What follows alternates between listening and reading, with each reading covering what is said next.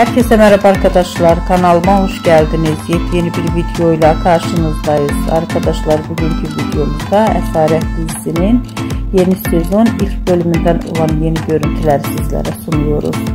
Bildiğiniz gibi Esaret dizisinin e, ilk bölümü e, bu akşam Kanal D'de başlayacak.